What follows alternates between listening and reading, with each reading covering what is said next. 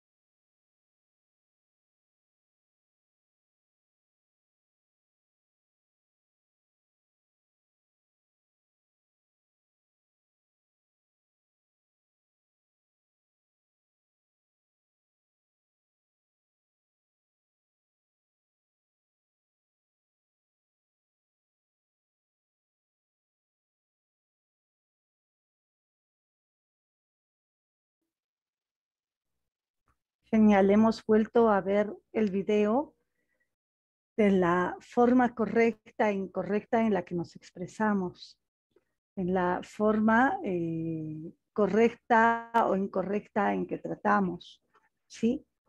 Nosotros debemos eh, evitar ese tipo de términos, ¿no? Como lo que hemos visto, mongolito, o, persona tarada, eh, o el cojito, míralo el manquito, pobrecito, el sordomudo. Ese tipo de palabras ya no se, no se usan, son peyorativas. Entonces nosotros cuando nos referimos a una persona con una discapacidad, digamos que no tiene brazo, pierna, tiene una discapacidad motora. Si la persona no ve, tiene una discapacidad visual. Si la persona tiene síndrome de Down o tiene eh, algún problema mental, no es un loquito, es una persona con una discapacidad mental. Cuando nosotros hablamos de discapacidades, hablamos eh, oficialmente reconocidas cinco, eh, cuatro tipos de discapacidades. Una es la discapacidad física o motora, la otra es la discapacidad sensorial, la otra la discapacidad intelectual y la discapacidad psíquica. Nosotros hemos agregado, no nosotros, lo hemos visto y se ha hablado de una discapacidad más que la discapacidad visceral. Ya vamos a tocar cada una de estas discapacidades durante el taller de hoy. Y también, por supuesto, existen las personas con múltiple tipo de discapacidad, ¿no? O con discapacidades múltiples. También lo podemos decir así. Vamos a ver la siguiente diapositiva para ir avanzando. Cualquier pregunta, duda que tengan, ya saben que, estamos aquí para que la hagan. Vamos a ver otro video en este momento que nos va a ayudar a despejar muchas de las dudas que tenemos.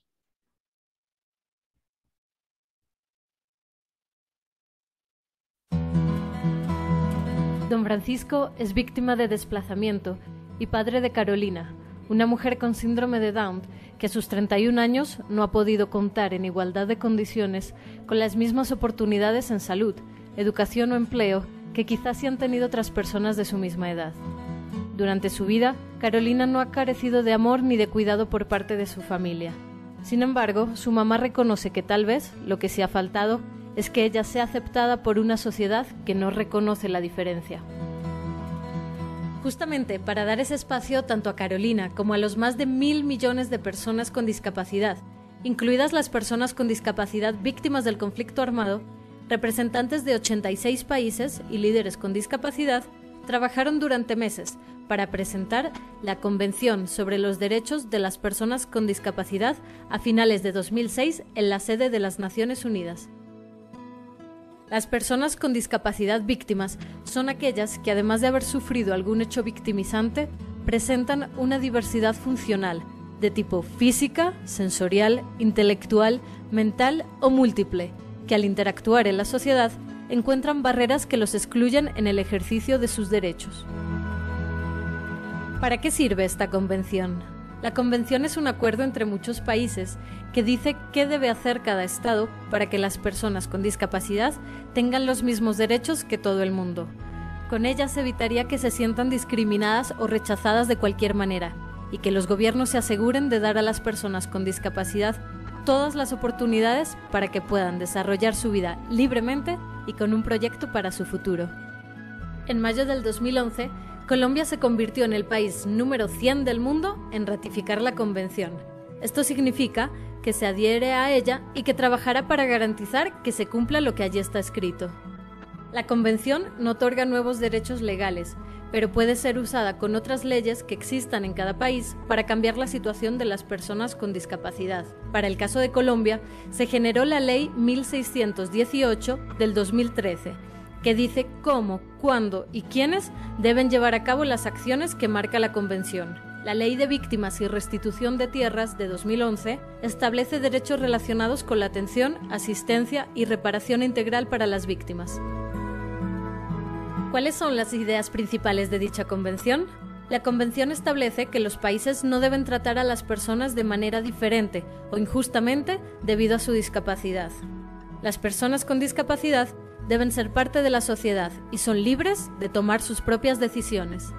Las personas y los niños y niñas con discapacidad deben ser respetados. Todas las personas, sean hombres o mujeres, deben tener las mismas oportunidades y posibilidades. ¿Qué debe hacer el Gobierno de Colombia para garantizar que los derechos de la Convención se conozcan y se cumplan? Formar a las personas con discapacidad, a las instituciones y a la sociedad en general sobre lo que dice la Convención. Trabajar en conjunto con entidades públicas y privadas para garantizar que las personas con discapacidad puedan acceder a las construcciones y edificios, a servicios básicos, hacer uso del transporte en igualdad de condiciones. Utilizar las nuevas tecnologías y producir información comprensible y en diferentes formatos para que las personas con discapacidad puedan comprender y usar según su necesidad. En suma, Colombia se ha comprometido a hacer todo lo posible para garantizar que las personas con discapacidad tengan igual acceso a bienes y servicios que le garanticen una vida digna. En ese proceso debe involucrar a las personas con discapacidad en la creación de políticas públicas que las beneficien.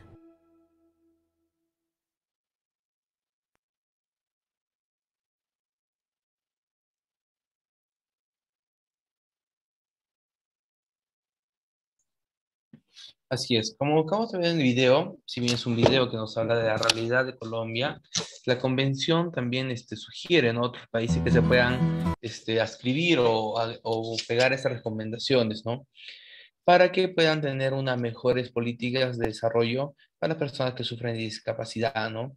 Esto sería la, la mejor, este, la mejor forma, ¿no? En recomendaciones que puede ayudar a que ellos se puedan desarrollar, a que ellos puedan, este, ¿se, me escucha bien, este, Rosario? Porque, sí, sí, ya, este, que ellos puedan desarrollarse la sociedad, puedan desarrollarse en su vida familiar, en su vida afectiva, en su vida educacional y todo, todo eso, ¿no?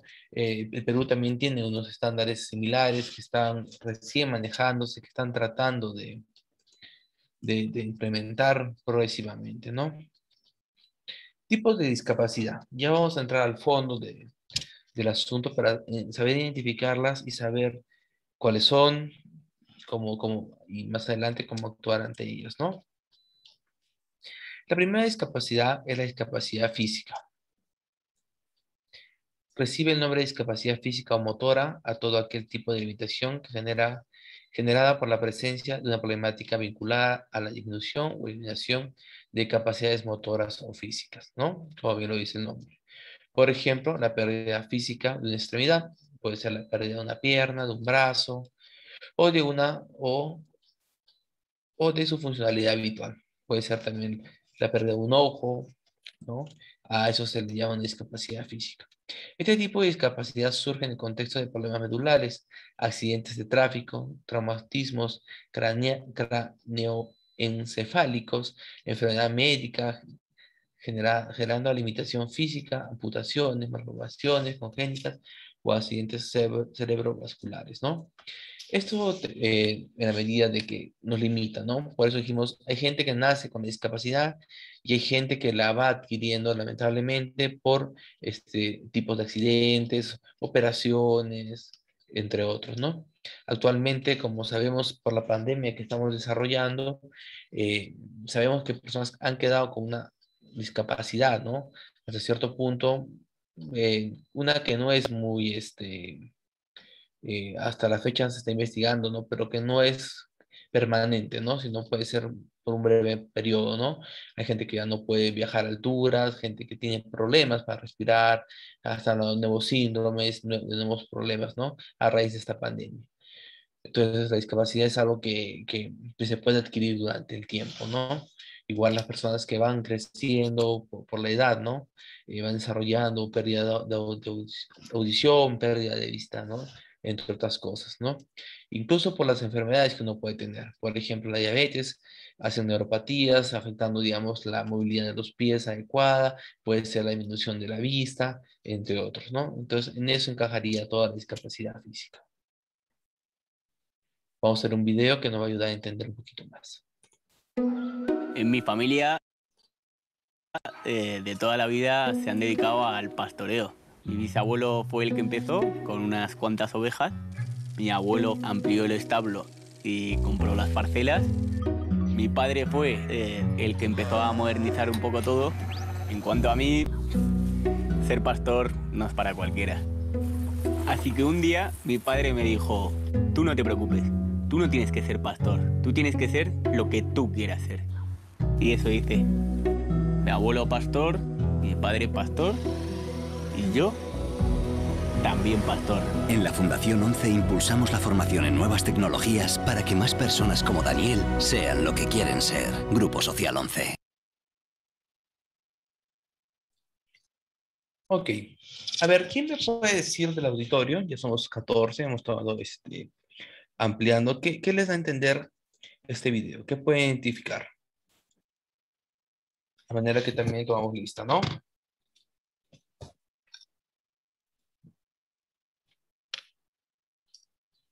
A ver quién voluntariamente puede hacer una intervención. Si no, procedemos a llamar. Juana, ¿estás en sala?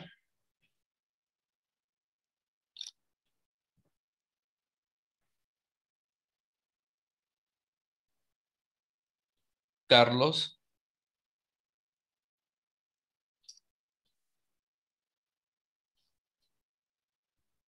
Carlos, buenas tardes, ¿cómo estás?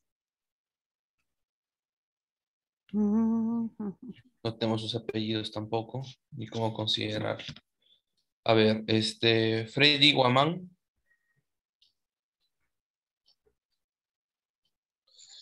Sí, buenas noches. Buenas noches. Presente. ¿Lograste visualizar el video? Uh, sí, no, hace un momento recién acabo de ingresar, disculpas del caso, porque estaba un poco, que recién me, me acabo de conectar, no lo, he, no lo he llegado a ver completo. Ok, no hay problema. Lo vamos a repetir justamente y ya puedes hacer la intervención correspondiente.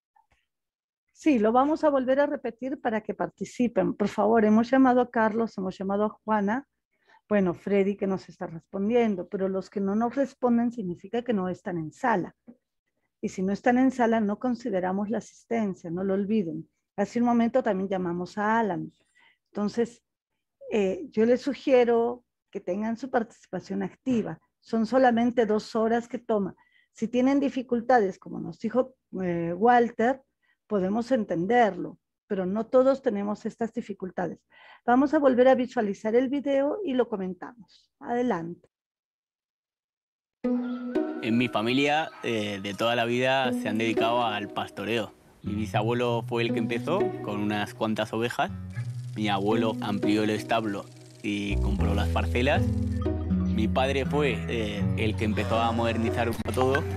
En cuanto a mí, ser pastor no es para cualquiera. Así que un día mi padre me dijo, tú no te preocupes, tú no tienes que ser pastor, tú tienes que ser lo que tú quieras ser. Y eso hice. Mi abuelo pastor, mi padre pastor y yo también pastor. En la Fundación 11 impulsamos la formación en nuevas tecnologías para que más personas como Daniel sean lo que quieren ser. Grupo Social 11. Ahora sí. Ahora sí, ya está a ver. A ver, cuéntanos. Freddy, ¿cómo estás? Bueno, eh, bueno, la- el video que se ha proyectado es más que nada como el joven presenta una dificultad, o sea, una discapacidad. eh, su padre no le da a que sea, o sea, igual que ellos, ¿no? El pastor, sino que él elija lo que le, le guste. Y eso es, eso es bueno, ¿no? Que los papás que hagan que nuestros hijos sean diferente, ¿no? No solo lo que uno pueda, quiera que sea, ¿no? No, sino que ellos elijan una profesión o algo que les gusta hacer a ellos, ¿no? Y eso es lo que, lo que transmite en ese video de parte del joven, ¿no? Con una discapacidad. Yo, yo, yo creo que, que el joven tendrá muchas habilidades en otros, en otros aspectos, ¿no? Eh, eso es lo que puedo decir. Pero Freddy, si te das cuenta, él también es pastor. Porque si nos percatamos en este video, no hay nada que a él le impida aún con la discapacidad motora que tiene, hacer lo que le gusta justamente, ¿no? Y de una familia de pastores, él también quiere ser pastor, y lo es, porque gracias a la tecnología que tenemos podemos lograr muchísimas cosas y no sentir que no podemos. Todo se puede hacer. Muchas gracias, Freddy, por tu intervención. Ok, gracias. ¿Quién más desea participar libremente?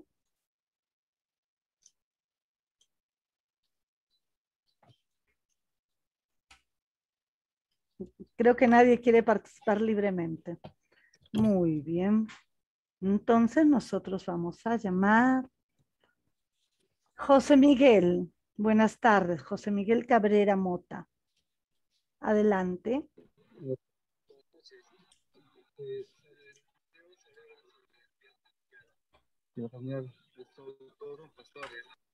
Y el padre le dice, puede ser lo que tú quieras hacer, no importar los prejuicios que, que tiene, ¿no? El joven decide ser pastor, como, la, como todo el nivel, ya, sí se yo escuchaba más o menos, ¿no? Un poquito de problemas con la conexión, pero justamente como decías tú, ¿no? Él quería ser pastor, ya que era una herencia familiar, ¿no? El abuelo había sido pastor, su papá había sido pastor, pero ahí eh, un poco que nace, entre comillas, el prejuicio por parte de el papá, en el cual no quiere forzar a su hijo, ya que tiene una discapacidad motora, no quiere forzarlo a, que sea pastor porque dice quizás él no va a poder hacer, porque no se va a poder trasladar en la silla de ruedas por los campos, no va a poder quizás ver este, los, eh, los animales, la granja. Y es ahí donde el papá le dice, no, ¿sabes qué? Si no quieres ser, tú ves tú lo que quieres hacer, no necesariamente tienes que ser pastor, ¿no? pero el sueño de él era ser pastor. Y gracias, como dijo Rosario, a la tecnología, a la Fundación 11, que justamente es una de las fundaciones que se encarga de brindar ayuda tecnológica para facilitar el desenvolvimiento de las personas con discapacidad, es que logra ser, ¿no? Pastor a través de un dron, ¿no? Puede incluso, creo, abarcar más este, que, que, que otras personas, que sería a pie, ¿no? Roxana, sí, te escuchamos. ¿Cómo está? Buenas noches. Buenas este, noches. lo, que, lo que quería comentar es lo siguiente. Eh, es que muchas veces nosotros confundimos la discapacidad con la incapacidad. Entonces, este, muchas veces nosotros tenemos ese, ese prejuicio de que eh, eh, tal persona por el hecho de que tenga esta discapacidad física, intelectual, sensorial o psíquica, creemos que no va a ser capaz de poder desenvolverse en cualquier actividad. Eh, tenemos, por ejemplo, a los deportistas en las Olimpiadas para Paraolímpicas, y que muy bien se desenvuelven, nos han traído medallas. tenemos muchas personas este, en diferentes puestos y se desenvuelven muy bien. Entonces yo eh, no, no tengo por qué eh, de repente este, cerrarles las puertas o limitarlas. Al contrario, eh, de pronto no ser solidarios y este, eh, de repente motivarles a que se sigan preparando, ¿no? Para que puedan ocupar unos eh, puestos eh, en diferentes instituciones, ya sean privadas o públicas. Eso nada más quería destacar, ¿no? La discapacidad que es diferente a la incapacidad. Sí, Roxana. Muy, muy importante tu intervención y justamente es el trasfondo, ¿no? no, no pongamos nosotros esa barrera, ¿no? Nosotros no tenemos que este, hay barreras actitudinales en el cual nosotros decimos, no, él no va a poder, no es capaz, o no sabe, o no entiende, o, o, no, no, no, no, al contrario, ¿no? Debemos ser el nexo en que ellos puedan desarrollarse de una forma tan igual que las personas que no, no cuentan con una discapacidad, ¿no? Sí, Rosario, ¿algo más Así es, totalmente de acuerdo con la apreciación de Roxana, excelente. Así es, o sea, a veces dentro de nuestros paradigmas, de nuestras creencias cerradas, creemos que las personas con discapacidad son incapaces, ¿no? Menos mal, tú lo has dicho muy claramente, no, no más repetir. Excelente participación. Eh, hace un momento cuando nosotros esperábamos en sala de que todos se integraran, escuchábamos que cantaba Andrea Bocelli. Y si sabemos eh, eh, nosotros, Andrea Bocelli es, es una persona con discapacidad visual, ¿no? Y sin embargo, tan lejos que ha llegado y la voz que tiene y cómo se desarrolla y los videos y las entrevistas que ha hecho, que aquellos que no lo conocemos no sabíamos que tenía discapacidad visual. Entonces, nos damos cuenta con todos los ejemplos y tantas personas que podríamos mencionar que realmente ser una persona con discapacidad no es ser discapacitado. Muy bien. Ahora vamos a tocar lo que es la discapacidad sensorial. Esta es la que hace referencia a nuestros sentidos, a cómo nosotros percibimos el medio externo, el medio donde vivimos, ¿verdad? Eh, hay muchas alteraciones de los sentidos, no solamente la visual o la auditiva. Hay alteración en el sentido del olfato, hay alteración en el sentido del gusto. Por ejemplo, ahora con esta, este virus del COVID, lo primero que, que, la primera muestra de tener COVID, ¿cuál era? La alteración del sentido del olfato y del sentido del gusto. No se sentían olores, no se sentían sabores. Claro que en las personas que han tenido COVID no llega a ser una discapacidad porque no es permanente. ¿no? Hemos hablado que la discapacidad es aquel, aquel eh, problema que tenemos, por decirlo de alguna manera, pero permanente. Ahora, otra discapacidad sensorial que tenemos es la del tacto, o sea, todo lo que tiene que ver con nuestros cinco sentidos. Muy bien, pasamos a la siguiente. Vamos a ver un video eh, si no me equivoco, este video es cómo realmente vemos y tratamos a las personas con discapacidad. Adelante, Gerlis.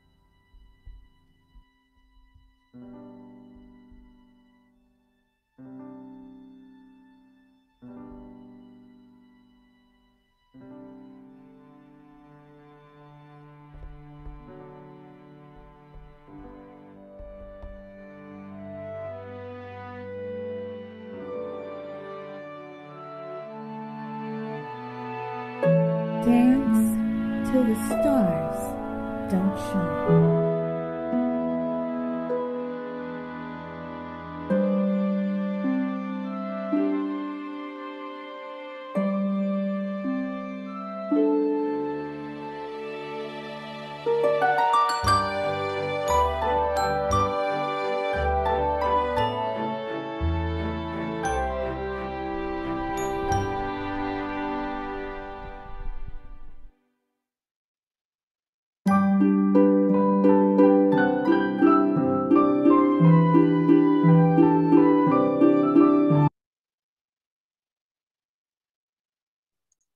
Pareció este video? Es muy bonito. Eh, no es el que imaginé, les di mal la introducción, pero es muy bonito, ¿no? Como la niña nació con una discapacidad auditiva. Se supone que nunca escuchó un sonido. Sin embargo, se siente, porque el resto de sus eh, eh, sentidos se han desarrollado más. Ustedes saben que las personas con discapacidad auditiva sienten a través de la vibración, ¿no? Y sienten eh, eh, por la forma en que nosotros gesticulamos, si estamos enojados o si estamos contentos o si estamos cantando, ¿no?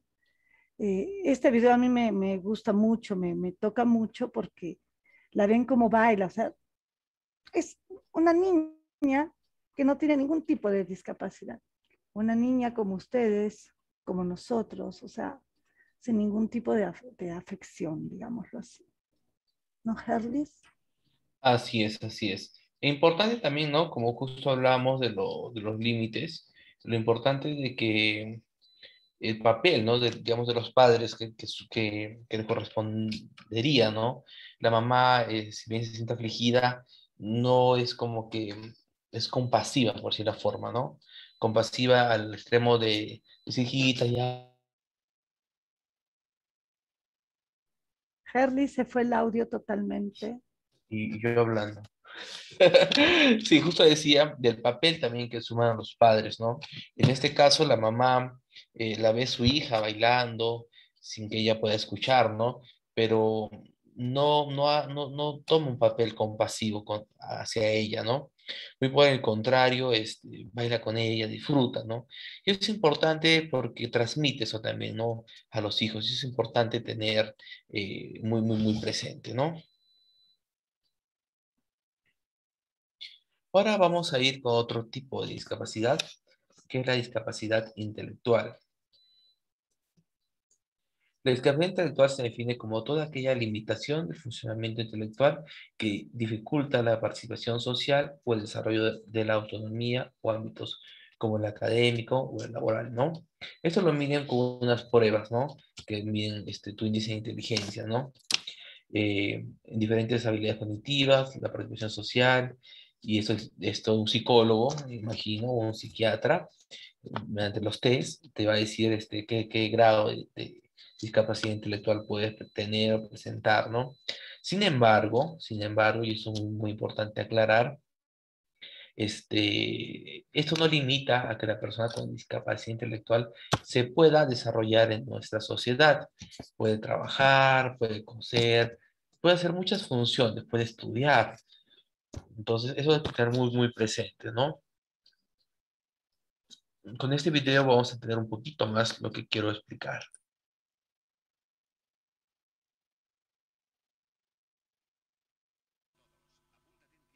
Escucha, Belén, la nueva vecina me ha pedido que le cuide a la niña. Tendrás que estar pendiente, ¿vale? Porque Julia es especial. Pero ¿puede jugar a las chicas grandes? Claro que puede.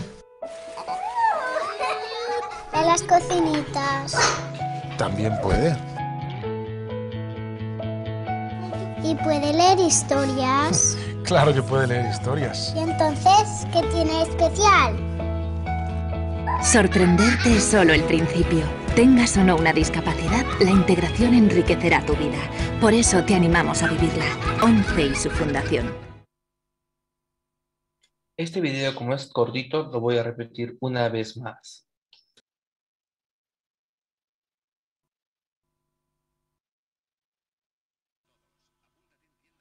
Escucha, Belén, la nueva vecina me ha pedido que le cuide a la niña. Tendrás que estar pendiente, ¿vale? Porque Julia es especial. Pero ¿puede jugar a las chicas grandes? Claro que puede. A las cocinitas. También puede.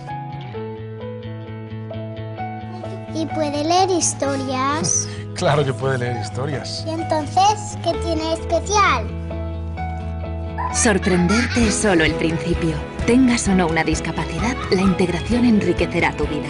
Por eso te animamos a vivirla. ONCE y su fundación.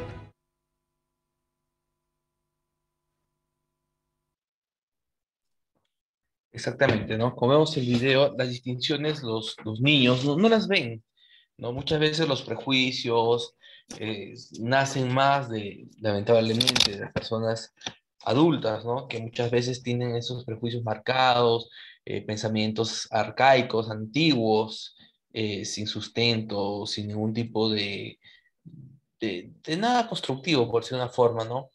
Incluso gente que pensaba, ¿no? Antes, no, ¿sabes qué? Seguro que el hijo de tal persona que, nació con este síndrome es porque es un castigo divino, que, que hicieron algo malo, o algo habrán hecho y Dios ha mandado este castigo, ¿no? O no, ¿sabes qué? Este, mm, ese tipo de discapacidad es contagioso, ¿no? Incluso se dice cosas tan disparatadas como las que yo menciono, ¿no? Pero si vemos el video, la niña eh, que está inocente, que es inocente, que no tiene un juicio mal, crítico malo, ella simplemente ve a otra niña, ¿no? Y comparte y se desarrolla como que fuese cualquier otra vecinita que simplemente viene a, jugar con ella, ¿no? Así es, la diferencia las vemos, los vemos los adultos. Las diferencias los niños no los encuentran. Ellos son sanos. No ven ni la discriminación racial ni de ningún tipo. Un niño puede jugar con otro y no va a haber distinción, pero en el momento que nosotros adultos digamos, pero mira que ese niño es negro o que ese niño es chino, que ese niño es rojo, o mira que, que no va a poder jugar igual contigo porque no tiene una pierna o no tiene un brazo, o simplemente es distinto a ti, es una persona especial, todavía decimos. Esas distinciones las ponemos nosotros y las sembramos en la mente de los niños. Si nosotros no hacemos distinciones, cuando ellos son pequeños, ellos van a ser jóvenes y adultos buenos, que no van a tener ningún tipo de distinción. Solamente depende de nosotros cómo criamos o cómo hablamos a los niños, sean nuestros o sean ajenos. Yo tuve la oportunidad hace poco de estar en un taller que se llama Líderes del Bicentenario de Lima. Y eh, fue muy grato ver la presentación, la charla magistral mo- motivacional que la tengo acá, del licenciado en periodismo, Brian Russell Mujica. Brian es una persona con síndrome de Down, pero él es, él es peruano, él es profesional, él tiene un premio en Estados Unidos por su destacada participación en distintas áreas, tiene una maestría. Díganme que los chicos con síndrome de Down no pueden. Él tiene mucho más papeles y mucho más estudios que muchos de nosotros. ¿verdad? Y me dicen que tiene una discapacidad intelectual. No, no lo creo.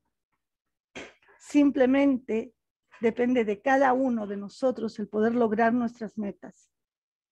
Nosotros podemos hacerlo. Nosotros debemos tener metas inmediatas, mediatas y a largo plazo. E ir cumpliendo estas metas.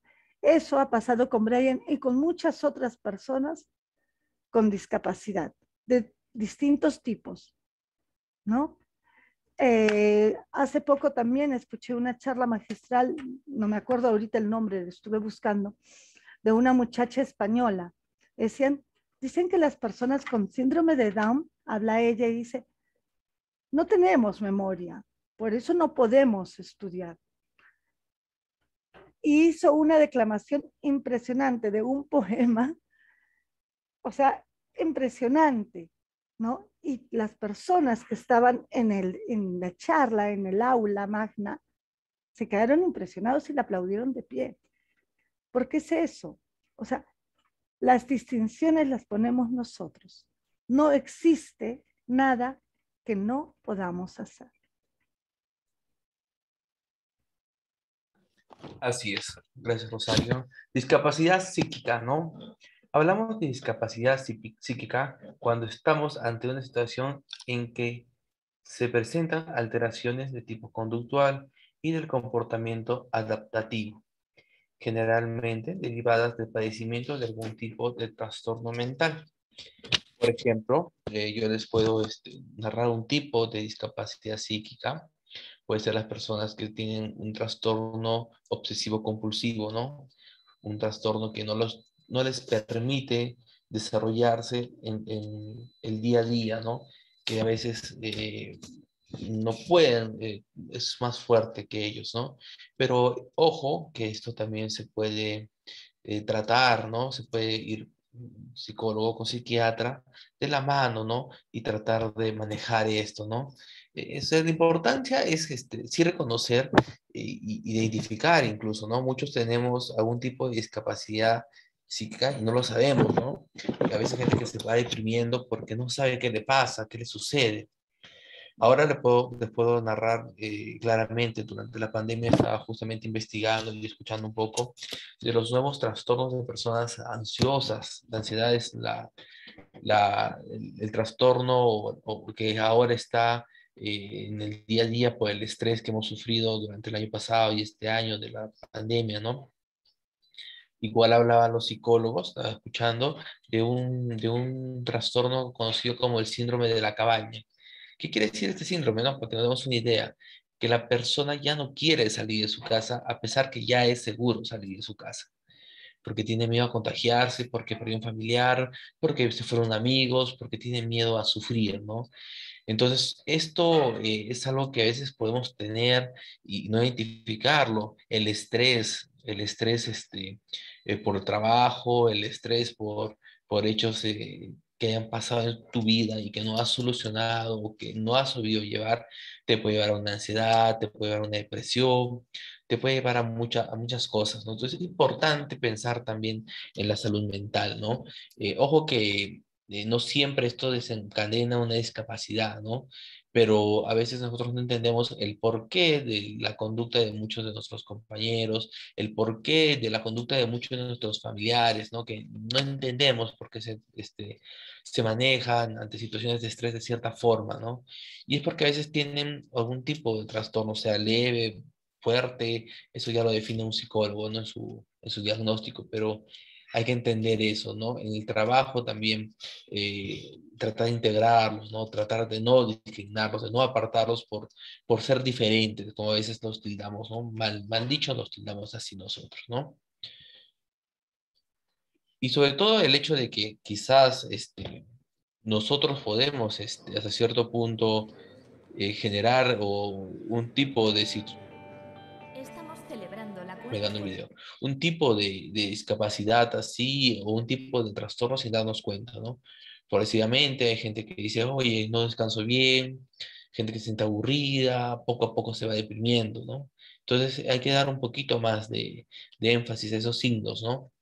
Eh, a los que son papás, de sus hijos, ¿no? Durante la infancia, durante la adolescencia, donde hay muchos cambios hormonales, muchos cambios conductuales, donde justamente el niño se siente ya adolescente, se siente incomprendido, se siente que nadie lo entiende, ¿no?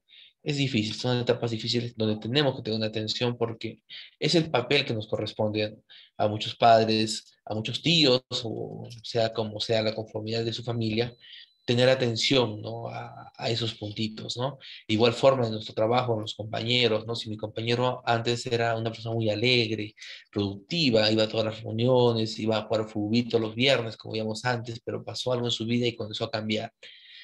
Que el departamento de asistencia social, el departamento psicológico de la empresa o de la institución donde pertenezcamos, tome cartas en el asunto, ¿no? Diga, ¿qué pasó? ¿Qué pasó con, con, con, con Erlison, por ejemplo? ¿Qué pasó con Rosario? ¿Por qué si es alguien tan, era tan diferente, qué le está pasando, no? No dejar que eso pase y vaya creciendo. Vamos a hacer un videito más para poder este, entender un poquito más.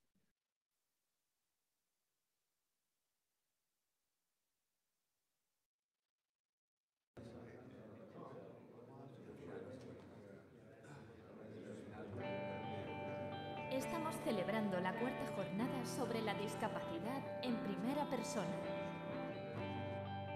Ya hemos escuchado las experiencias de Manu y Julia. Y ahora vamos a escuchar a Bruno, quien tuvo un brote psicótico y comprendió que tenía que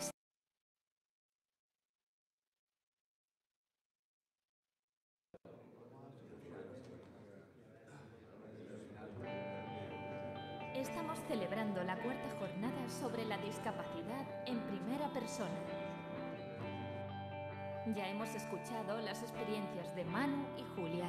Y ahora vamos a escuchar a Bruno, quien tuvo un brote psicótico y comprendió que tenía que seguir un tratamiento.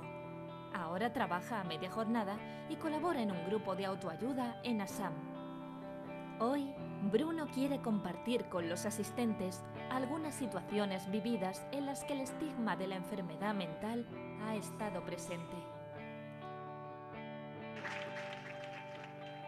Las personas con trastornos mentales, hasta hace muy poco tiempo, éramos catalogadas como endemoniados, poseídos, vagos y maleantes, y nos apartaban de la sociedad encerrándonos en manicomios.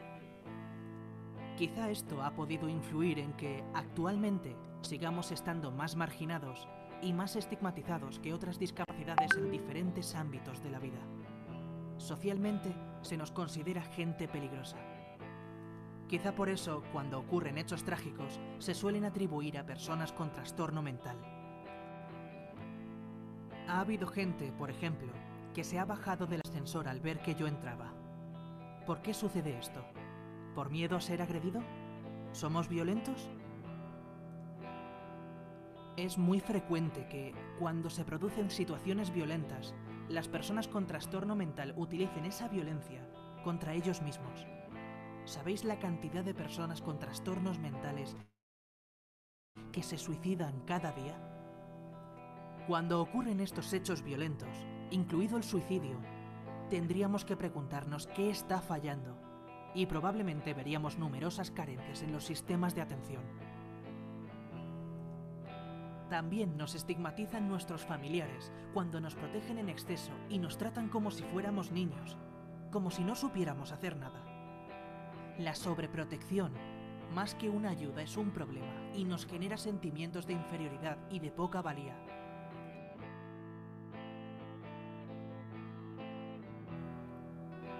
Una pareja sentimental puede ser uno de los grandes apoyos con los que podemos contar, pero en muchas ocasiones, cuando conoce el diagnóstico, nos abandona. También he tenido amigos que al conocer mi enfermedad, dejaron de llamarme.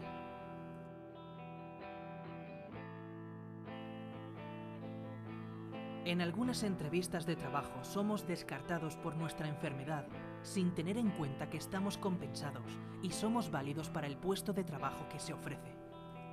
Yo creo que esto es así porque no disponemos de una información seria y rigurosa sobre lo que es y no es la enfermedad mental. También existe estigma en el campo de la sanidad con profesionales como médicos, enfermeros, psiquiatras o trabajadores sociales. Una vez fui a urgencias con un dolor abdominal y al ver mi expediente clínico me derivaron directamente al psiquiatra, sin hacerme ninguna prueba. En ocasiones sentimos que algunos profesionales no cuentan con nosotros para tomar decisiones que nos afectan. Por suerte, también percibimos que poco a poco esto va cambiando y nos hacen más partícipes de nuestros tratamientos. Para acabar con el estigma se requiere mucha más información rigurosa y formación específica sobre enfermedad mental. Además, es necesario la colaboración de todas las partes implicadas. Personas con enfermedad mental, asociaciones de familiares, profesionales y adecuadas políticas sociosanitarias. No podemos pasar por alto el autoestigma. ¿Habéis pensado alguna vez en que el estigma puede venir de nosotros mismos? ¿Que somos nosotros los que nos imponemos los límites?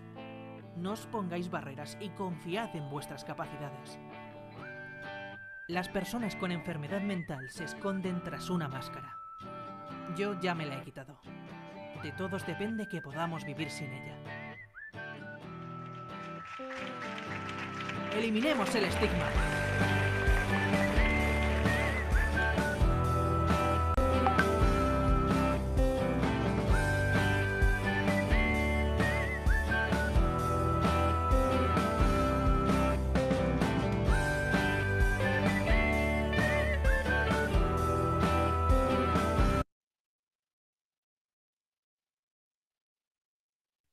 Así es, muchachos. Tenemos que eliminar el estigma. Tenemos que eliminar las ideas cerradas que teníamos. ¿no? Ese es nuestro trabajo ahora.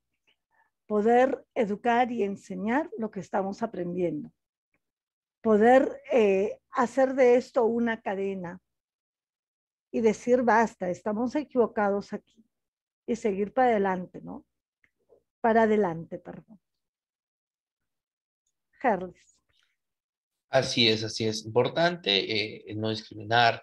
Vemos este, los, los este, sectores donde afectan, ¿no? o sea, los ámbitos de la vida donde puede afectar ¿no? estos estigmas, esta forma de pensar, esta forma de, de, discriminar, ¿no? laboralmente, de forma eh, familiar, de forma eh, social, incluso afectiva. Entonces, es algo eh, que se debe se debe trabajar bastante, se debe cambiar, ¿no? Los amigos incluso piensan que estás loco, que estás demente, que, que, que le puedes hacer daño, o sea, y eso afecta porque va deprimiendo. No solamente eso sucede con personas que puedan tener trastornos de ansiedad o, o trastornos de, de, este tipo, ¿no? Sino, ah, si una persona que no tiene un afecto, imagínense, peor, ¿no? Te cierran la puerta laboralmente, te cierran las puertas este, eh, a nivel afectivo, ¿no? Y es difícil, ¿no? Que, que alguien así pueda eh, superar y tener una vida normal, una vida donde se pueda realizar, ¿no?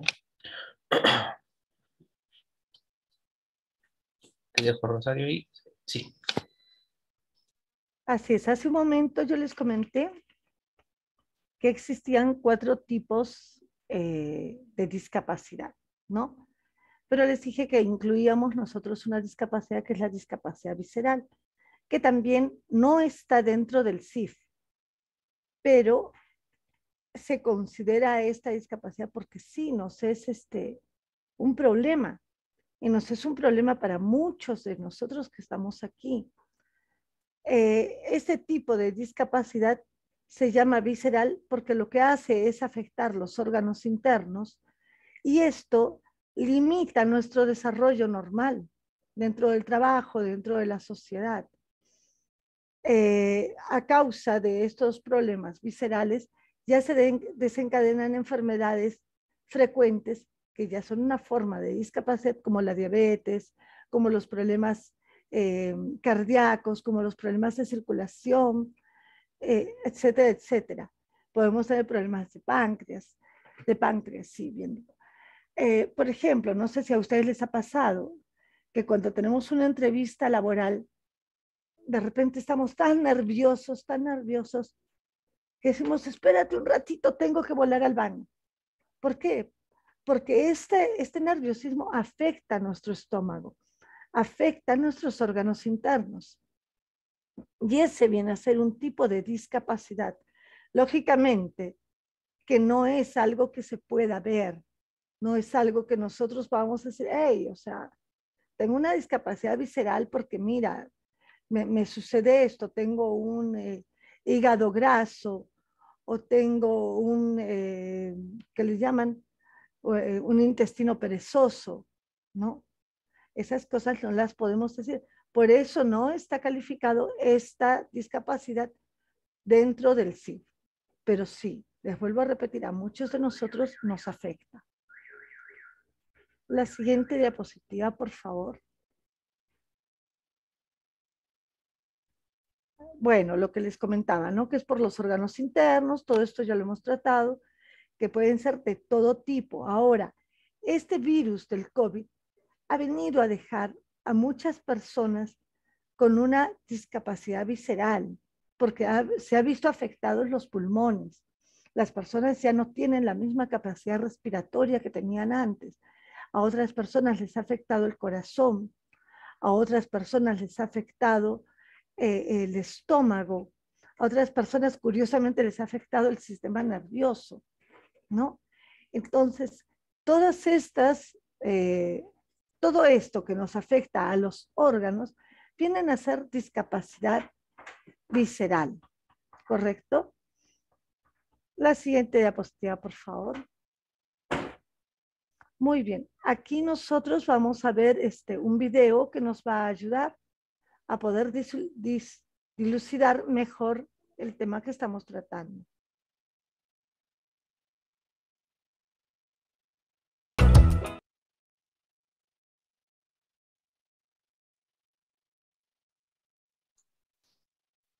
Así es, como podemos evidenciar en el video, reforzando lo que Rosario nos narraba anteriormente, nos ponía, eh, son mm, factores que no se pueden observar, por ejemplo, no son tan, eh, por decir de una forma, evidentes como quizás eh, la falta de una pierna, de un ojo, o, de, o de un brazo, ¿no?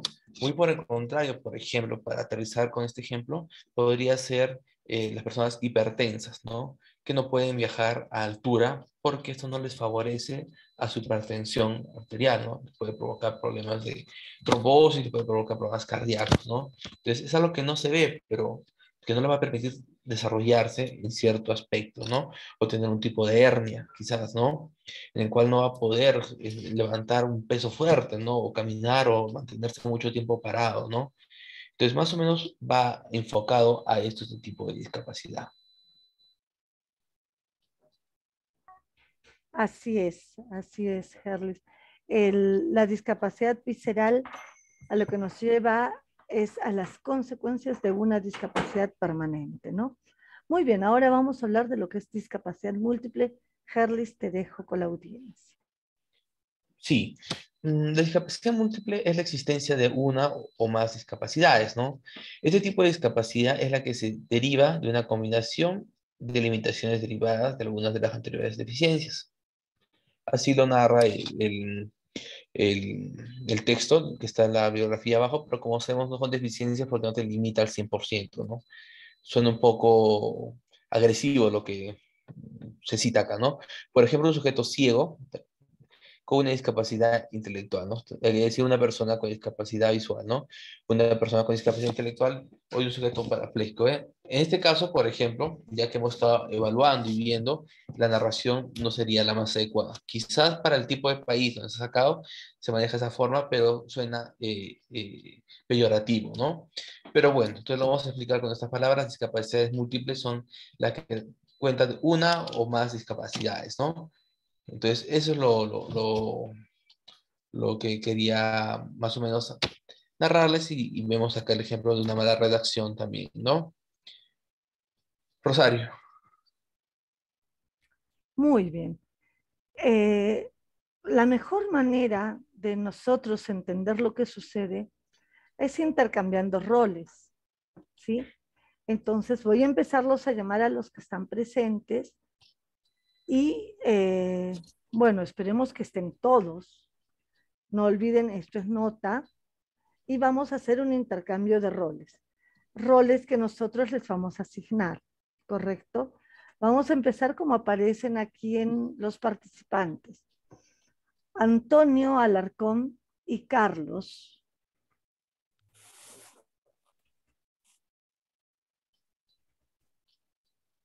Antonio, ¿estás? Sí, presente. Excelente, Antonio. Carlos, ¿quién es Carlos? Buenas noches, señorita. Buenas noches, sí la escucho. Hola, Carlos, ¿cómo estás? ¿Cuál es tu apellido, por favor? Carlos Tito Caguana, sí. Muy bien, mm, queridos participantes. Vamos a hacer entonces un cambio de roles. ¿Cómo haríamos nosotros para atender eh, para poder atender bien, repito, eh, a una persona con discapacidad, por ejemplo, visual. En este caso, Antonio, necesito que prendas tu cámara y Carlos también. Antonio, tú vas a tener discapacidad visual y te vas a hacer entender con Carlos para que él te atienda. respecto a la gestión que tú quieras hacer. Y luego vamos a hacer el cambio de roles, ¿correcto? ¿Sí? ¿Me dejo entender?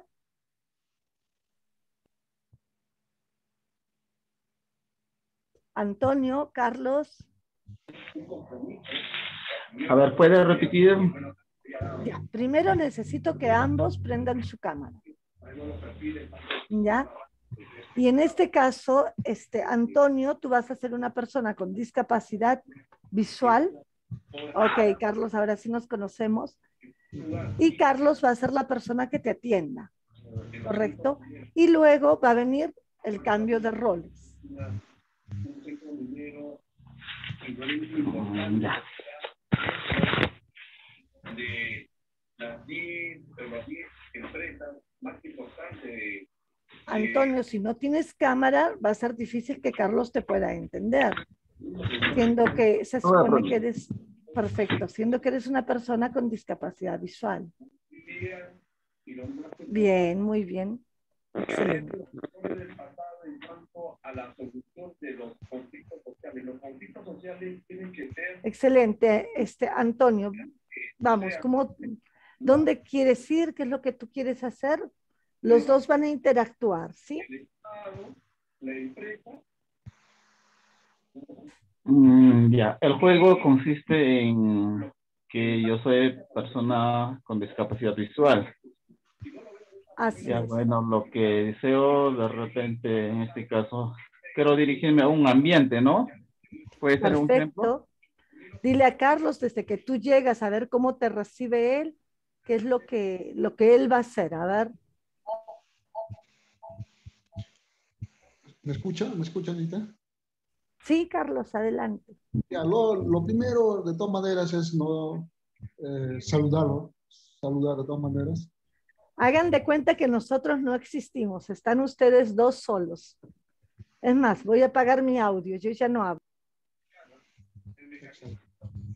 Eh, buen día, un ejemplo. Buen día, caballero. Buen día. Buen día, señor. Mira, lo que quiero dirigirme es a este, ya, al ambiente de segundo piso, a una audiencia. Ya, no se preocupe, no se preocupe, caballero. Ya, de todas maneras, yo lo voy a guiar y lo voy a acompañar hasta la, hasta la oficina de la audiencia del segundo piso. Eso es lo primero que yo haría, ¿no? A una persona. Como usted verá, es que es una grada, ¿no? Yo estoy, eh, yo siento que es una grada que no podré subir. No, soy una persona con discapacidad visual. ¿Me podría ayudar? De todas maneras, con mucho gusto, con mucho gusto. De todas maneras lo apoyo, ¿no? Las gradas, o si, ¿no? O puede ser también. de todas maneras, yo sí, seguro, seguro que apoyarle, ¿no? O sea, Ya, muchas gracias. Entonces, ayúdame a subir, por favor. listo. No se preocupe, caballero. Lo voy a llevar hasta la- Muy bien, chicos. Ahora lo hacemos al revés. Carlos, eres la persona con discapacidad visual y tú, Antonio, la persona que lo va a atender. Ya, muy bien. es lo que más necesita el peruano actualmente. Buenas noches, caballero. Quisiera que usted me guíe o me acompañe hasta un sótano de una eh, hospital. Buenos, buenos días. Muy bien, en estos momentos yo te lo acompaño. Sé que veo que tienes discapacidad visual, yo te lo voy a ayudar. Te apoyas a mi hombro, yo te lo voy a bajar. Peldaño por peldaño vamos a bajar a mi paso. ¿Está bien? Muy, muchas gracias, muy amable. Ya vamos, bajamos. Ya, uno, dos, tres. Ya, bueno, estamos bajando los peldaños. Llegamos. Ya, ya estamos. Puede pasarlo. Puede tomar asiento. Muchas gracias, caballero, lo agradezco demasiado. Muy amable. Muy bien, chicos, excelente. Muchas gracias. Ahora ya los conozco también. Muchas gracias. Muy bien. Eh, vamos a ir, al final vamos a, a decir si está bien o está mal, corregimos cualquier cosa, ¿ya? Espérenme, voy a anotarlos acá, Antonio Y Carlos. y Carlos, Tito Caguana. Muy bien. Ahora, continuamos con Juan Anders y William Félix.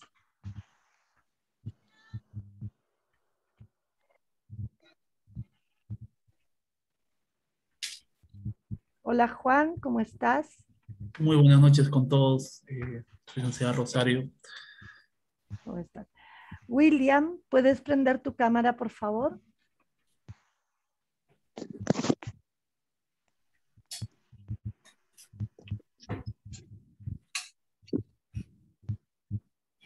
William, ¿me escuchas?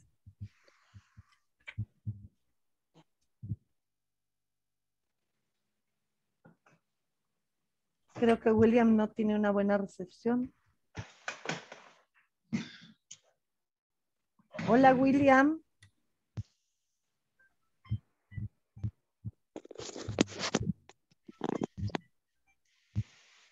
Bien, no tiene una buena recepción. Vamos entonces con Wilbur, ¿ya? Wilbur.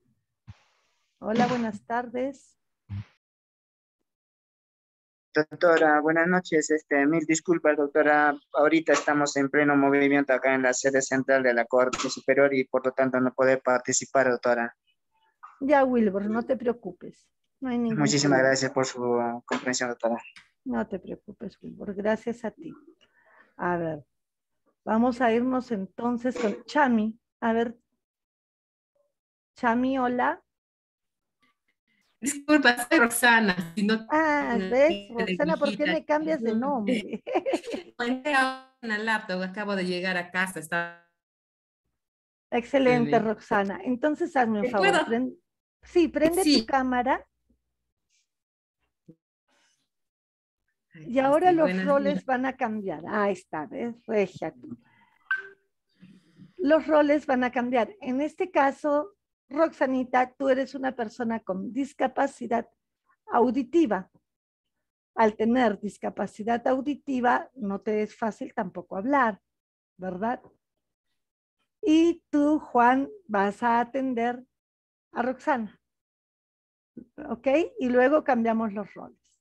Adelante, chicos. Ya. Este, ya. Ah, vamos a simular, este, Juancito, vamos a simular de que, a ver, de que tú eres, digamos, este, eh, estás en la mesa de partes, yo voy a ser un usuaria, ¿ya? Ya, Entonces, Diego. Buenos días, señor. Este, necesito presentar mi escrito, por favor. Este, y, y si pudiera alguien atenderme, porque este, no, no escucho bien, mi abogado no sé qué me ha dicho y no he entendido nada, por favor, ¿usted Stop. puede orientarme? Stop, Roxanita. Tú no A ver. escuchas nada, nada. Y como nada. tú has nacido con una discapacidad auditiva, no te ha sido fácil aprender a hablar. Una persona con discapacidad auditiva, al no escuchar, no Ay, puede hablar bien, ¿sí? Emite sonidos. Así que tú vas a estar muda. Sordomuda, entonces, una persona sordomuda. Ya, es que ya no se usa el término sordomudo. Es solamente una persona con discapacidad auditiva. Excelente. ¿Estamos? Ya. Ya está. Ahora, tú te vas a hacer entender, yo no sé cómo, y Juan te tiene que entender, ¿no? Y atender a lo que tú necesites. Estabas muy bien, pero lo único que no quiero es que hables. Ya, ok. Adelante. Ya, entonces, a ver. Mm.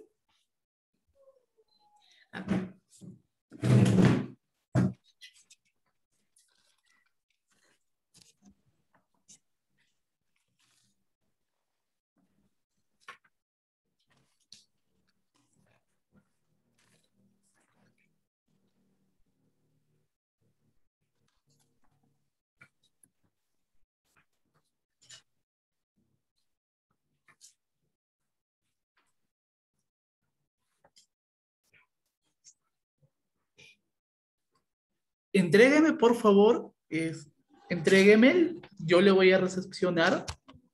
¿Me puede entregar, por favor?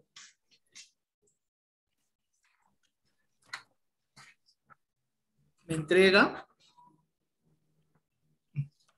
Ya, yo le recepciono y pues imagino que el usuario está pidiendo que se haga el trámite documentario.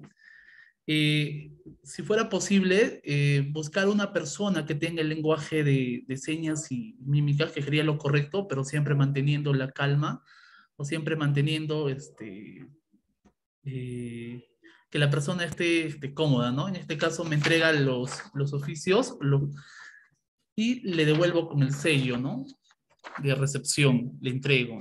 Entonces, eh, siempre va a haber una dificultad de, de, de, uno no poder, este, como lo digo, ¿no? buscar a alguien que, me, que pueda tener ese, ese, ese conocimiento.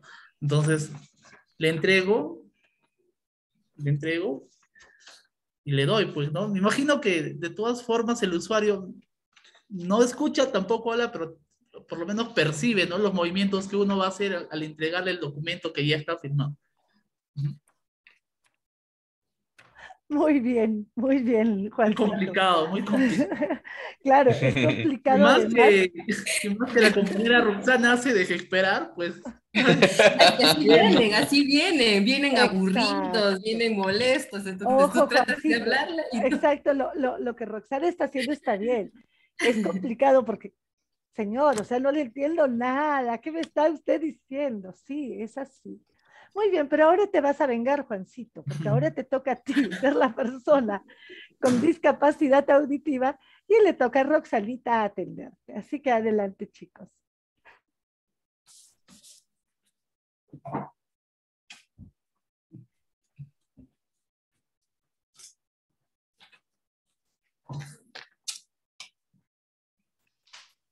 ¿Cómo estás? Buenos días.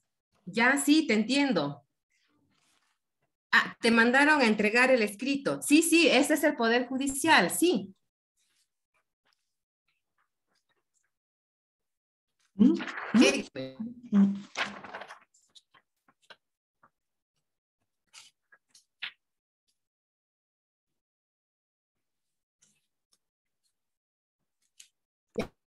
Se congeló, creo. Se colgó. creo que he perdido conexión el escrito. Ya, sí, ya alcánceme, yo le atiendo. Dice debe decir, está. ¿Dónde está? Ya, entrégame su escrito. No, tiene que entregarme. Sí, alcánceme. Estire la mano y entrégueme. Tengo que leerlo. No, es que, ya, ¿qué cosa es lo que usted va a hacer? ¿Quiere entregar su escrito o quiere que le oriente? Ah, que le selle. Ya, entrégueme el escrito. Yo le recepciono. Sí, no se preocupe. Ya, ok. Ya mire, le estoy poniendo el sello, le estoy ingresando al sistema. ¿Me logra escuchar? Le estoy ingresando al sistema. Aquí está el sello, aquí está el sello. Eso le va a decir a su abogado. Tenga. Ya. ¿Está bien? ¿Todo conforme? ¿Está bien? ¿Sí? Ya, ok. Vuelves otro día para informarte. Otro día vuelves. Ya, te puse el sello, ya te puse, aquí está, ya te puse el sello. Eh, no, te entiendo. Si pudieras escribirme, agarra un papel y escríbeme. Aquí tengo un lapicero. A ver, escribe. ¿Puede escribir? Ya, excelente, escríbalo.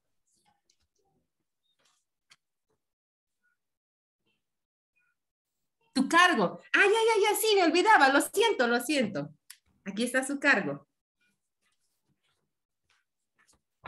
¿Está bien? Ok, vuelve otro día, cuídese. Excelente, chicos. Muy bien. Muy bien, muy bien.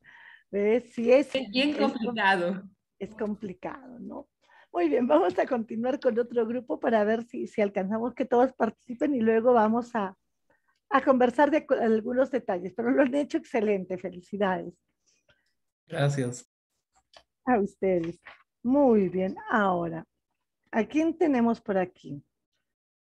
Eh, William, justo se fue creo William, sí. Um, Judy, Judy Moreno y Freddy Guamán.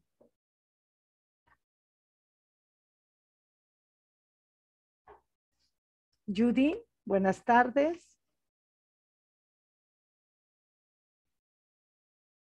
Freddy, buenas tardes.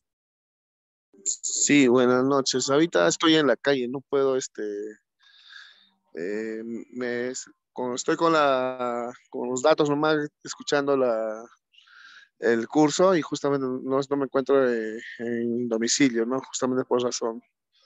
Ok, Freddy, no te preocupes. Espero tu participación más tarde o mañana, ¿ah? sin falta.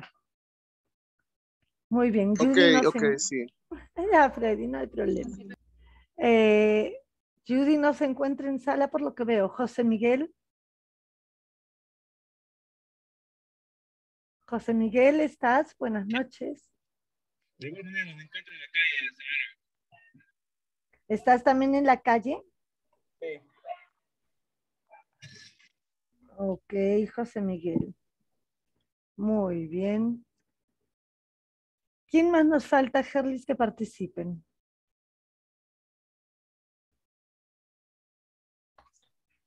Carlos también dijo que no podía, ¿no? Lo estaba revisando. Carlos ha participado. Sí participó, ¿no? Sí participó. Sí, sí, Sí, sí, sí, justamente. Si en todo caso, a ver, eh, a se tiene que retirar, dice también, ¿no? En todo Ya. caso, los que no pueden prender sus cámaras, que ya han podido o están escuchando. Walter. Hola, Ah. Walter, ¿cómo Ahí está estás? Walter.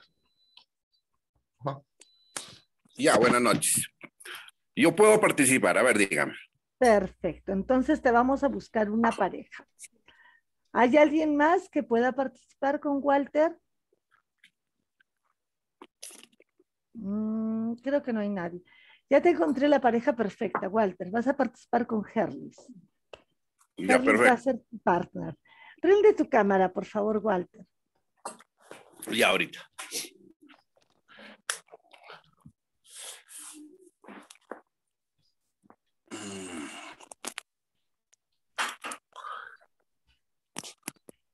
¿Nos vemos? Sí, sí, nos vemos. Perfecto. Ya, perfecto. Ahora, tú vas a atenderlo primero a Herlis. Herlis va a ser una persona con discapacidad motora de los miembros inferiores. Perfecto. Y, ok, entonces empezamos. ¿Ya conocen cómo es la temática? Adelante. Ya. Ya, ahorita. Buenas tardes, señor Walter. No, no lo conozco. Buenas tardes, una consulta. Tengo una audiencia, pero no sé dónde queda, pero eh, es en la- me han dicho que es en el tercer piso. Y como ve, yo estoy en una silla de ruedas y quería saber si una rampa, cómo puedo llegar. Perfecto. Yo lo voy a apoyar, no se preocupe. A ver. ¿Dónde quedaría? dijo- ¿Dónde sería? ¿Tiene- ¿Que tiene una audiencia o es que eh, necesita que le firmen algún documento? No sé, mi abogado quedó en venir y no ha venido, por eso tenía que entrar yo, porque me ha dicho sí o sí tengo que entrar hoy día. A ver, voy a, voy a entrar al sistema. Entonces voy a revisar qué es lo que necesita usted. Ingreso al sistema. Verifico y lo que estaba solicitando usted son copias certificadas, que eso se lo va a otorgar el secretario. En este momento, usted espéreme, que voy a subir al tercer piso donde queda su juzgado. Voy a suplicarle al secretario para que baje y le entregue sus certificados. Y si no quiere bajar, no puedo subir yo, no hay forma de subir. No hay forma de subir porque este, estos locales son alquilados y no las han hecho para personas con discapacidad. Tendríamos que cargarlos y en este, en este momento nosotros contamos con solamente el personal, un personal de seguridad y el que le está atendiendo. Y hasta el cuarto piso no creo que los dos podamos cargarle. No, Por eso, peso- en este peso momento, Voy a, voy a suplicarle al, al- al- al secretario para que baje y le, le entregue sus este, Mis copias copias. certificadas. Ya, le agradecería bastante. Gracias, gracias, gracias. Traeré acá nomás. Entonces voy, vuelvo y le hago la, la, la entrega respectiva. Ok, ok, ok. Gracias, gracias. sí. Ahora me toca. Excelente, muy bien. Exacto, ahora al revés. Hazlo sufrir, Walter, por favor. A ver, me voy a poner en el caso de que me faltan los dos brazos y necesito hacer este presentar un escrito. A ver cómo lo hace. A ver, bueno, inicialmente usted se va a acercar a mi persona y yo le voy a, me voy a identificar. Le voy a decir buenos, buenos días, mi nombre es Erlis Delgado Chávez, soy el personal que trabaja acá en el Poder Judicial de la sede Ayacucho. Yo la voy a ayudar a su inquietud. Me indicó usted que necesita hacer un trámite. ¿Desea que le ayude de una forma o ya ha presentado antes usted un tipo de documento? Bueno, en eso estoy. Este, mis, mis datos yo, yo le voy a brindar. Usted entre al sistema a ver si todavía mi abogado ha presentado este, el- la demanda respectiva. Ok, a ver, permíteme los documentos que tiene, yo voy a buscar en el sistema para poder dar razón y si tiene que presentar un escrito, el procedimiento que corresponde, yo hago el escrito, lo voy a ingresar y le voy a dar su cargo con su sello correspondiente. No habría ningún problema. Así. Ahora, ¿Dónde Yo tiene no usted el documento? ¿Dónde tiene usted el documento? yo no tengo manos, entonces, por favor, este, ¿me puede apoyar el de seguridad para que pueda coger parte de mi, eh, que está en mi, Su bolso. mi portafolio? Claro, no hay Y- problema. Indíquenos ¿O usted que- usted me pudiera apoyar en Sí, esto? sí, sí, sí, no hay problema. A ver, yo voy a agarrar documentos y usted me va a decir, le voy a mostrar acá, si es el documento que desea ingresar el día de la fecha. No, ese no es. A ver, no ten- no- que no tiene más papeles. acá ya, el acá debe ser. El acá puede ser Entonces- entonces. Ese sí es. Ah, ok, ya, no se preocupe. Yo voy a ingresarlo en, en el sistema. Voy a ingresar, le estoy sellando día, fecha y hora, le estoy dando su cargo correspondiente. Se lo revíselo usted, mire si está correcto. Fecha, hora, número de expediente. ¿Sí? Sí, Conforme. está perfecto. Ok, Sí, y se lo voy a guardar en el mismo bolso para que usted pueda llevárselo a su abogado. No lo va a perder. ¿Ok? Muy amable. Muchas No, gracias. a usted. No, estamos para servir. Muy amable usted. Hasta luego. Perfecto. Gracias, gracias. Muy bien, me encantó. Me encantó. Gracias. Gracias, Walter. Perfecto. Excelente. Listo. Muy genial, bien. genial, genial. Todos los que tienen su participación, por supuesto, ya saben que las participaciones son el 60% de la nota. Los que no han podido participar ahora y si lo conversan con alguno de sus compañeros, díganles que mañana, antes de que nosotros empecemos el taller, pueden eh, hacer su participación. No decir, bueno, licenciada o, o doctor, no hemos participado el día de ayer y quiero participar. No hay ningún problema, tienen esa opción para que puedan tener su nota. Me encantaron las participaciones, muy bien. Eh, yo solamente quería ver algunos puntos, ¿no? Por ejemplo, en el primer caso que se trabajó, eh, déjenme ver, déjenme ver, déjenme ver, aquí está, que fue Antonio con Juan, hablaban de que dejaban su puesto de trabajo y acompañaban a la persona con discapacidad visual al sitio donde tenía que ir, ¿no? Pero no es así, nosotros no siempre podemos dejar nuestro puesto de trabajo. Entonces, ¿cómo hacemos para que la persona con discapacidad visual pueda llegar a la oficina que está buscando? ¿No? Tenemos que dar indicaciones exactas. Nosotros dentro del taller que vamos a continuar los siguientes días, vamos a enseñarles. Pero la, la forma, digamos, correcta, si yo no me puedo mover, ¿no? Y algo que dijo, no me acuerdo si fue Juan o si fue Antonio, que le dijo, ponga usted su mano en mi hombro. Esa es la forma correcta. La persona con discapacidad visual no necesita ser llevado del brazo, no necesita que lo jalemos. Pone la mano en el hombro y la persona guía va a empezar a caminar y le va a indicar, obvio, las gradas. Pero la persona con discapacidad visual va a sentir, porque ellos sienten el movimiento de la persona y por eso tienen esta eh, forma correcta de desenvolverse. ¿sí? Otra forma, si yo no me puedo mover de mi puesto de trabajo, es darle indicaciones exactas. Mire usted, camina, va a pasar una puerta porque la persona con discapacidad visual, recordemos que tiene un bastón en la mano. Y esto lo va a ayudar. Entonces, mire, vaya usted pegado a la derecha y va a pasar dos puertas y pasando esas puertas hay cinco gradas o, o hay una grada de cinco peldaños y allí a mano derecha se encuentra la oficina que usted busca o allí a mano izquierda. Entonces, cuando nosotros tenemos que dar indicaciones a una persona con discapacidad visual, tienen que ser muy exactas estas indicaciones y la persona va a llegar sin ningún problema, ¿no?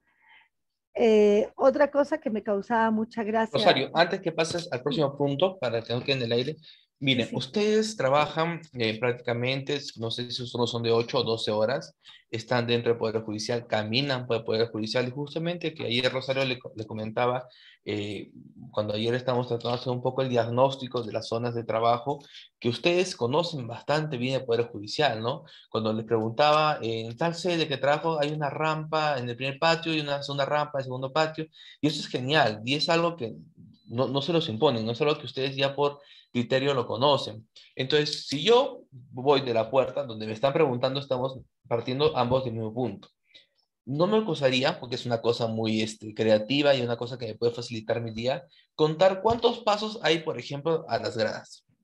Entonces le indico a la persona que con discapacidad visual, señor, son aproximadamente de 10 a 12 pasos, en los cuales va a encontrar usted las gradas y puede subir. Recuerden que la persona con discapacidad visual ha llegado hasta el Poder Judicial sin nadie, sabe manejarse.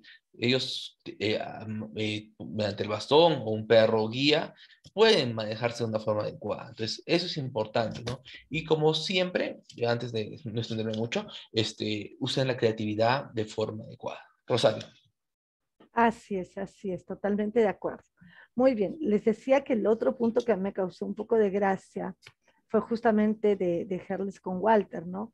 cuando Herles le dice, bueno, señor, deme usted los documentos, después se dio cuenta que la persona tenía discapacidad motora de, de las extremidades superiores.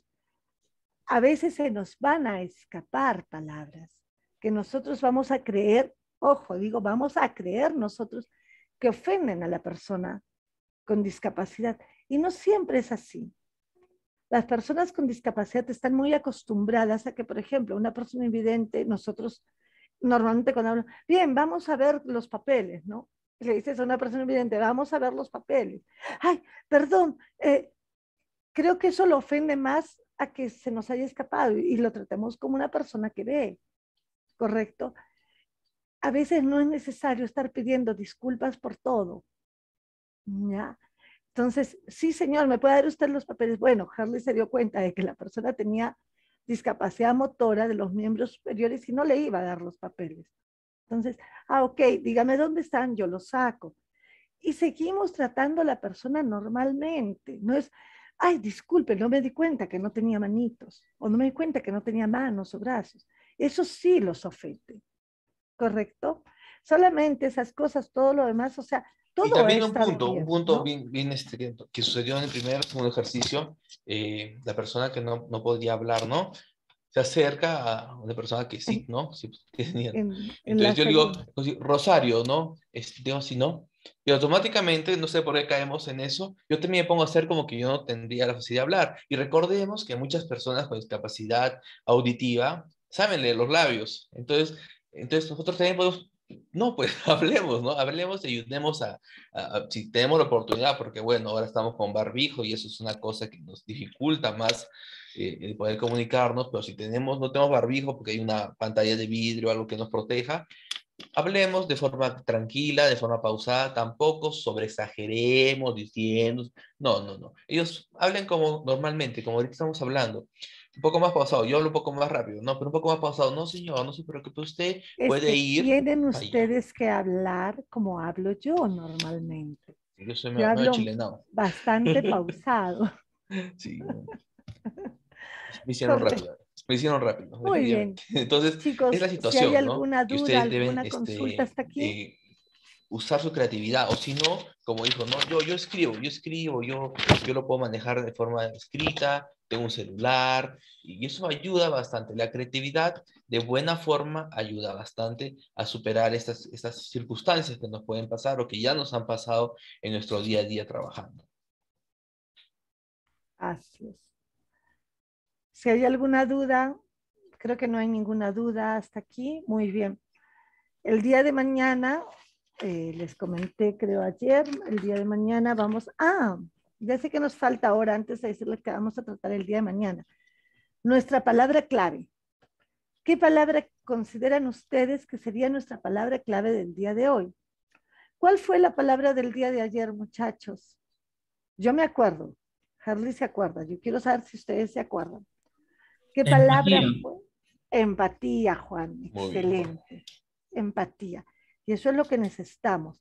¿Y qué palabra podemos este, poner el día de hoy? En este cambio de roles que hemos hecho, ¿qué, eh, ¿qué ha salido de nosotros?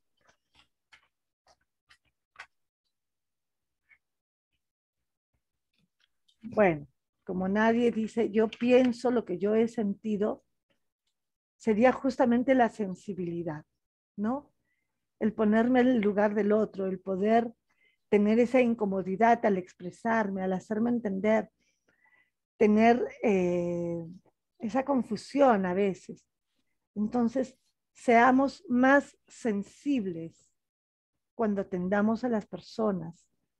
Pongámonos siempre en el lugar del otro, sea adulto mayor, sea persona con discapacidad, sean mujeres embarazadas o con niños, ¿qué haríamos nosotros? Sean varones que de repente tienen algún problema, ¿no? Nosotros tenemos siempre que ponernos en el lugar del otro, ser sensibles ante la incomodidad o el malestar que alguien pueda tener. Sí, entonces anotamos. La palabra del día de ayer fue empatía y la palabra del día de hoy es sensibilidad. ¿Correcto? Muy bien. El día de mañana vamos a trabajar lo que es justamente atención a las personas con discapacidad. Lo que hemos hecho en este pequeño juego de intercambio de roles, ahora les vamos a enseñar las cosas que, que debemos hacer.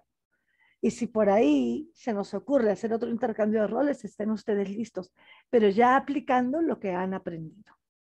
¿Sí? Muy bien, Gerlis, ¿algo más que tengas que acotar? Sí, les adjunté al, al WhatsApp por el cual les pasamos los links eh, una lectura obligatoria, es una lectura corta, es la lectura del cuento del elefantito atado a una estaca, el cual también nos va a ayudar un poco a, a reconocer, ¿no? A reconocer, no quiero adelantarme para no hacerles, este, arruinar la lectura, ¿no? Reconocer ciertas cosas que a veces nos limitan, ¿no? Entonces, no olviden leerla, vamos a conversar el día de hoy. Eh, toda intervención es apuntada, anotada, recuerden que hay una evaluación el día jueves y todo suma puntos y nos va a ayudar a, a que estemos más relajados en la evaluación, ¿no? Para nuestra justificación. Rosario, ¿estás ahí? Porque veo que te has colgado o, se- o se ha colgado Ah, soy me he colgado. A mí no me gusta estar congelada. ¿Me escuchas bien? Se le ve ¿Me bien. escuchas? ¿Se me ve bien? Gracias, Roxanita. No, más o Excelente. Ambos se les ve bien. Muchas gracias. Muy bien. Yo les voy a pedir a todos para que todos nos Al que no veamos se le ve esta micro. que prendan su cámara, por favor, para tomar la foto de rigor. Sí, Herlis, también te vemos bien, no te preocupes. Eh, Yo no veo a nadie. No hay problema. Muy bien. Ahí aprovechemos nuestra mejor sonrisa, nuestra mejor cara. Eso es. Ok, va una. Una más, chicos. Es. Un ratito, Fíjate, ratito, porque está un poco lento la computadora. Rosario, si me puedes apoyar con el tema de las fotos, te agradecería En bastante. eso estoy. Perfecto, todos. Excelente. Sí.